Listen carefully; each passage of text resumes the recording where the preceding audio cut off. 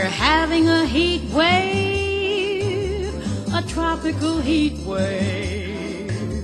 The temperature's rising, it isn't surprising. She certainly can, can, can. Hey Man Room viewers, we're in the middle of a heat wave here in central Illinois, and I don't know how much you know about weather, but it turns out that the sun is actually on fire. So until they get that put out, we're pretty much all screwed.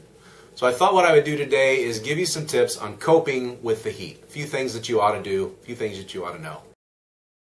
Now the first tip is simply this. Avoid the heat. Stay inside, stay in the air conditioning, keep the blinds drawn, and don't go outside, especially during the hottest part of the day, and that is between 11 a.m. and 3 p.m. Now it's just right before 3 right now, so let's take a look outside and see what the weather's like.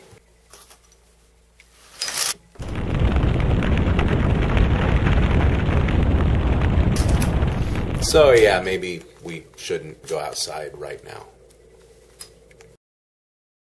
The next step is to drink cold drinks and stuff that's going to keep you cool. Personally, I like popsicles.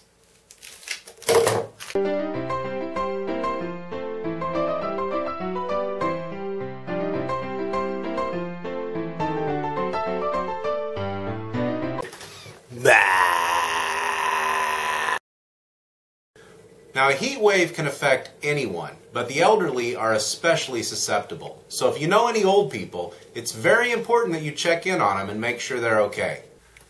My mom's 80 years old. I thought I'd better be a good son and check in on her. Hello? Yep, she's fine. And if you do have to go outside, make sure that you dress as cool as possible. This is as good as I could get.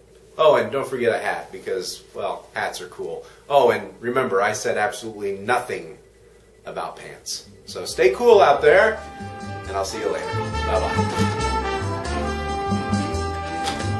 We're having a heat wave, a tropical heat wave.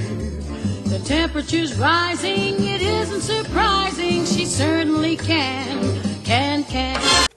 Bye.